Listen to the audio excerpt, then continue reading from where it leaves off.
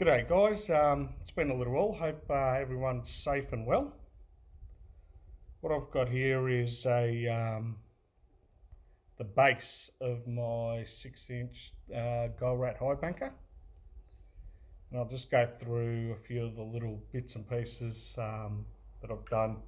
It's obviously got the um, Gold-Rat extension on it now. That's uh, as you can see with the length. Now, it's also set at 11 degrees. Um, that's where I tend to like to run. Um,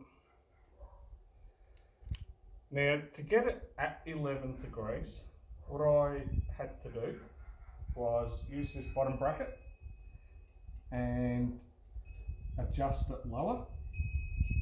Um, I also had to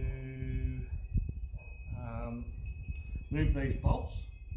So instead of using it here on this bolt, which would have, you know, meant that I'm probably another centimetre up, I've dropped it down to the two bolts um, that are just like the two holes. That's made me um, be able to achieve the 11 degrees. I was going to punch a hole in here but um, decided against it. As you can see, there's quite a few holes in this thing already um, from manufacture, and I didn't want to punch any more into it. We'll have a look at the mat and uh, what I've got going on in there because there's a few changes. So down the bottom here, I've got the dream mat This is normally what I'm running. But up here, I've got a different type of mat with um, some quite a few different types of riffles. So what it has is a little V-mat here. Still probably a little bit deeper than the Bunnings stuff that you get, but a little V-mat. This one's like a V-mat, but it's a bit larger. Hungarian riffle the little V-mat. Uh, this is just for smaller riffles that are at a 45. Hungarian riffle again. The small V-mat. The smaller, say 45 um, angle like riffles. This is the flatter, it's a, it's a, like a V-mat, but it's got a flat top. And this last bit here is almost like a U shape, um, which is like eh, which is just a deep Hungarian riffle, and then obviously back down to the dream mat. Above that, the miner's moss. I have one that goes all the way to the back and fits just perfectly where the clamp does. Um, good thing here, I can fit this mat um, with the original um, high banker um, clamp. I do also, you might ask why there's three holes, because normally there's only two, and the third hole is for um, using the large cell dream mat. I've got a piece of dream mat for this top that is also a large cell. Um, you might be asking why the changes, and the changes are simple conditions change and you know you need different mats for different areas.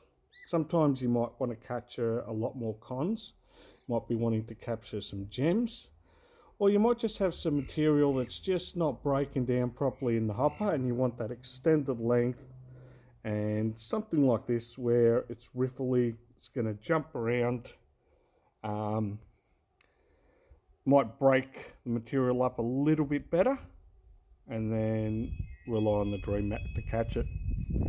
The other thing is um, I could put another dream mat here but it's like anything um, you try something and if you just keep repeating and repeating and repeating you know there's a chance you might miss something always got to try something different um, I might not catch any gold in here. I know I will, but you've just got to take that um, take that risk sometimes.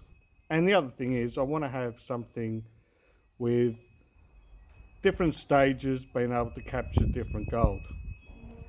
The other thing you might have picked up is I've got these brackets here. And when I put the hopper on, I'll explain what I've done and why I've done it. Um, while we are here, what I will do, I'll just set this camera down. Now,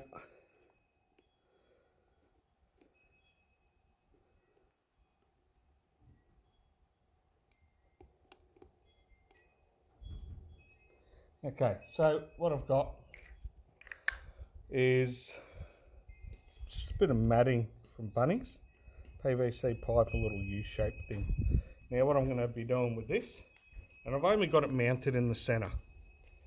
It's just so that I can slide this in.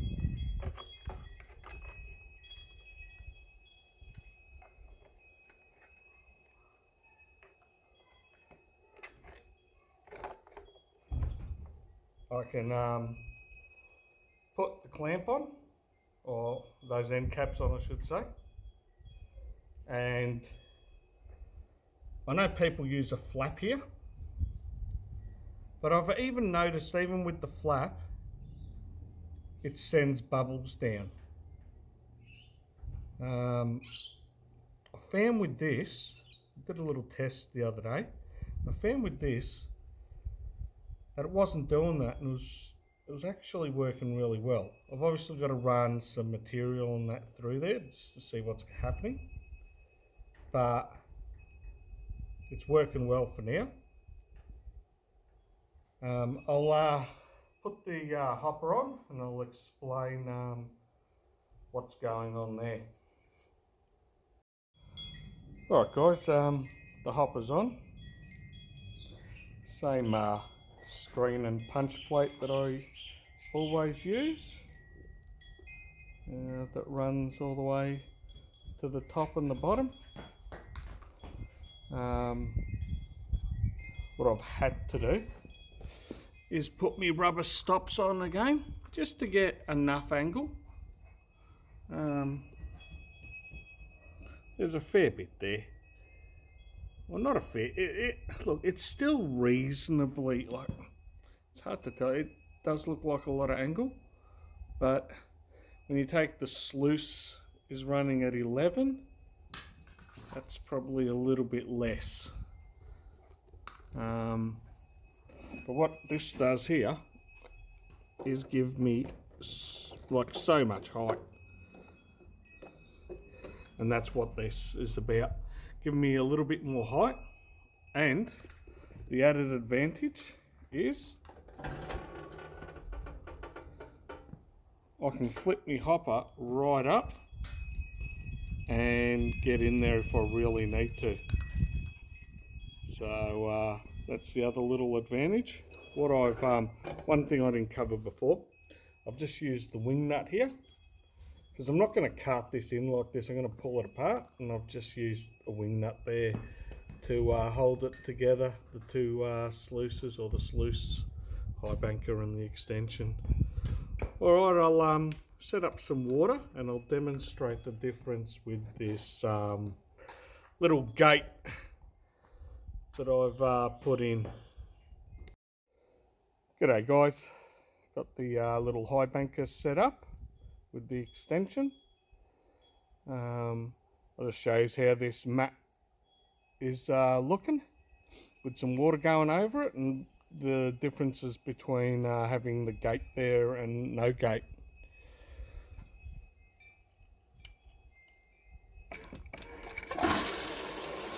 So I'm running the two 1100 gallon pumps as I normally do.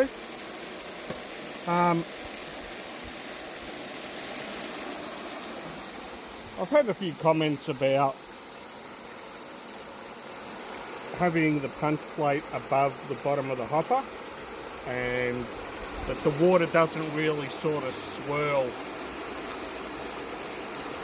as you can see there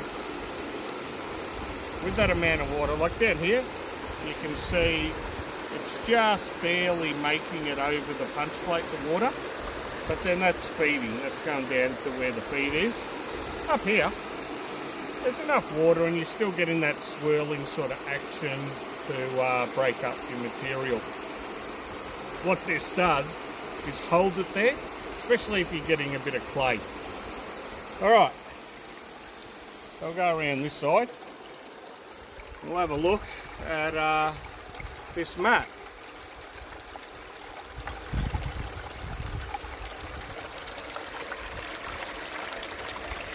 There's the dream mat.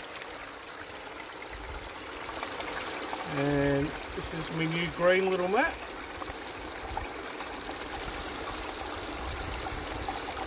And the gate on this, it's probably throwing it up a little bit.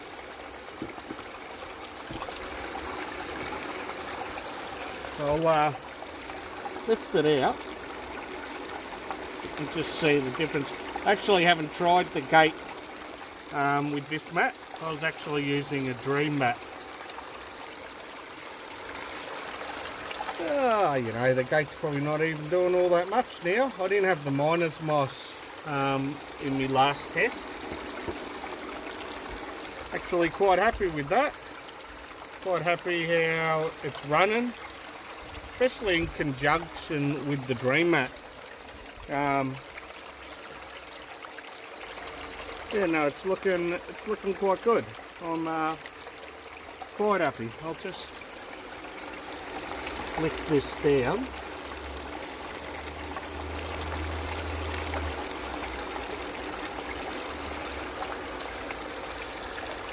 just so you can have a good look at the difference.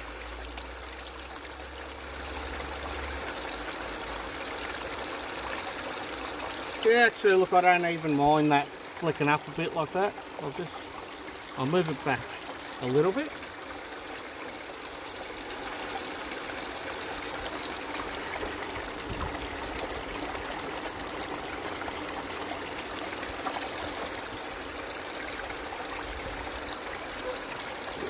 Yeah, now look, that's not too bad. Either way, probably don't even need to have it there, to tell you the truth. Um,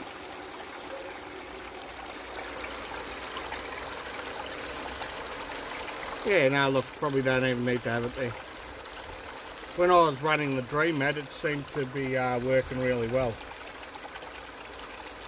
Alright, I'll uh, leave it there and uh, hopefully we'll be out somewhere pretty soon and uh, doing a field test on all this. Till the uh, next time, I'll um, catch you all later. Alright guys, uh, got the uh, high banker set up. What I've done is um, taken the moss out and I've taken that um, gate that I was uh, playing around with out as well. I want to run a little bit of material just so I can have a look and just see how this mat actually goes. I'll um, plug this in. Now what I'm going to do first is just have one 1100 gallon pump and just see what that looks like.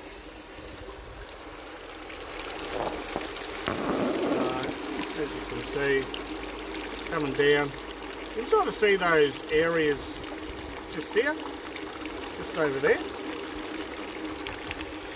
We're creating a bit of a pull, one up the top as well there. So that's one pump. Now this can run like this. I know the Dream Mat can. I'm assuming the top mat could as well.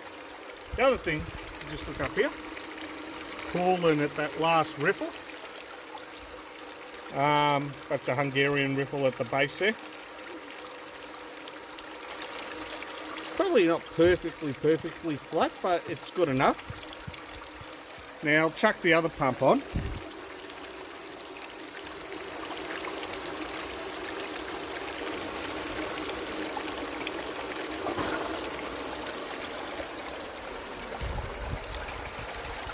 Now we've got uh, 2,200 gallons of water. I'm going to get my uh, daughter to feed into the uh, high banker and we'll see what happens.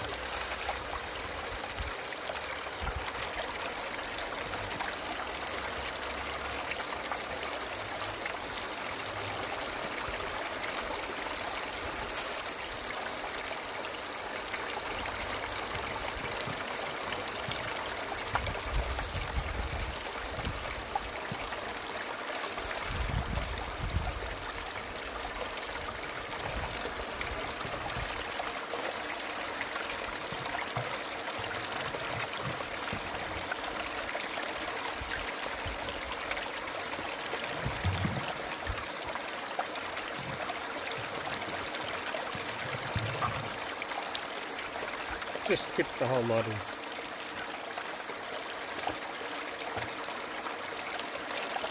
So there wasn't a lot of uh, material. Yeah, let's have a look and uh, see what's happening.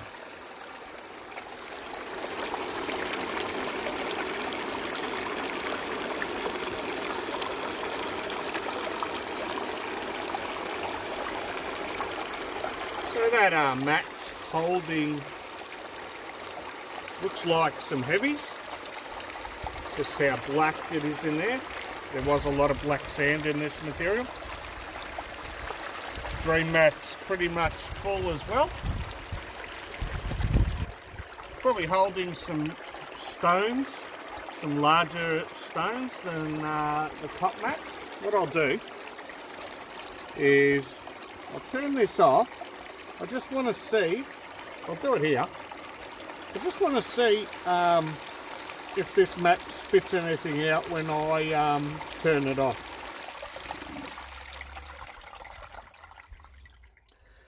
Now look, it seemed to have um, held pretty well.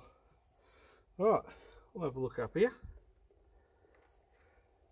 So, there's some fine gravel, I reckon that might be a bit of gold right there in the middle right in the center of the screen. If I can zoom in. I don't know, maybe. Maybe not. It looked it looked like it uh, on screen, or looking through the screen. So I'll work our way down. Seems to be um, holding some material.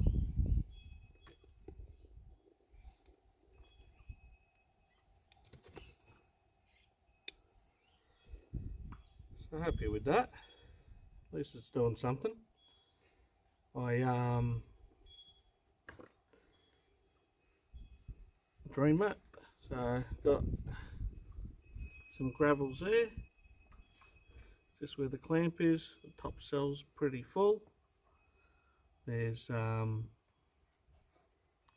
as I said the larger stones that I could see that were still getting held and it's just chockers full of uh, black, black sand.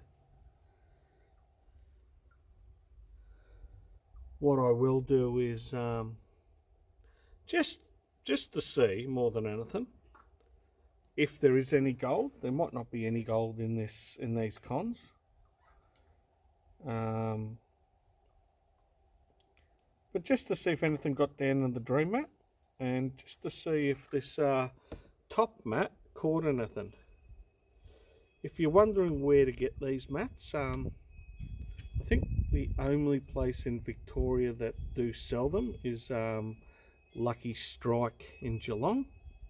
It's the mats for a 10 inch sluice and then it has a groove in it to be able to cut it into an 8 and I've just cut it down to a 6 so I've got a bottom it actually keeps coming down the mat down um, there's another section probably say from from here down it just repeats itself Um, I didn't want to have that that long. I wanted to use the dream mat at the base. I am also going to um, use um, some expanded mesh. I'm just trying to source some at the moment.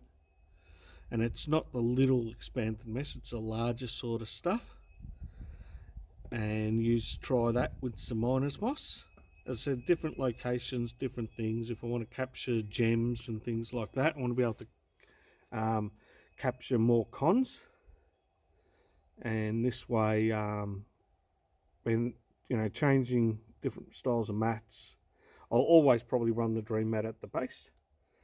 But this is more about trying things, testing, um, and just you know doing something a little bit different.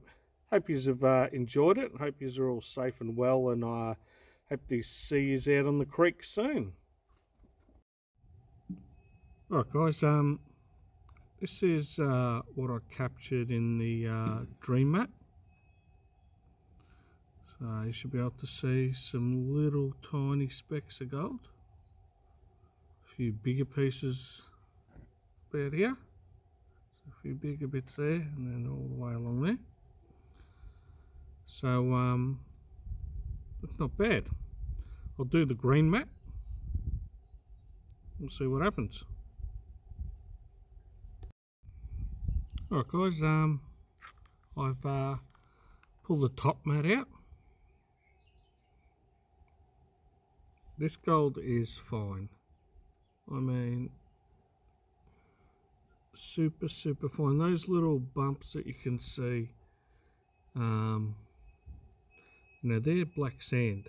So you can just sort of see how small this gold is. I'm happy with that. Now I did lose gold. Now why is, why is there more gold here? Well, this mat was first obviously. So um, the mat will work, but I did have some losses. But just remember, never run the mat before, and I am running the mat at 11 degrees, which is pretty damn aggressive. Could probably back it down to 9. Um, that way I could probably get this mat running better and have the dream mat running. The water flow for it is good. What I'm going to do now, I'm going to pull all the clamps out. I'm going to wash the actual sluice out and just see if there's anything captured by the clamps because I wasn't going to add that up um, into each mat. Alright guys, um, this is the gold that was found um, once I cleaned everything out. So I just washed down the sluice, took all the clamps out and a few more little bits of gold. Um, yeah, quite interesting that um, even just the clamps and everything else holds some gold. I'm going to just tack a little video on the end of this of a uh, axe head that I found at Blackwood. I believe it was the first meetup. Went for a little bit of an explore and have a look at where they had been digging. Looked like they'd done some hydraulic sluicing there. And this axe head was um, just in the fork of a tree. Obviously someone with the detectors probably um, either um, pulled it out of the creek and chucked it and then someone else has chucked it and somehow it's just ended up in the fork of this tree well and truly above the um, water line. And I picked it up and thought look this is just going to get destroyed and vanish see if I can um, clean that up and try and uh, stop it decaying anymore so I hope you enjoy that. See you later. Alright guys I um found this axe head oh, maybe a year ago. And just been looking at it a little bit and noticed it's full of gravels. So in this uh, I've been chipping away at it there. There's all the stuff in the uh, in the pan I'm going to um, chip the rest of this stuff out. This is what you do. I'm cleaning out all my uh, prospecting gear having a look what I've got and uh, just sorting it all out. Seeing as we're in lockdown so I um, thought I'd give this a bit of a chip and um, pan it out see if there's any gold in it. Alright, this is um, the gravels that were that I ran through. I'll just show you the screen. So I don't know, like a little dim sim frying thing that I use.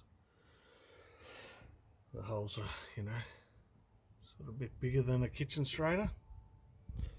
Um, yeah, so I thought, ah, you know, why not? Uh, more ironstone, the host rock that's there, um, some little tiny bits of quartz, and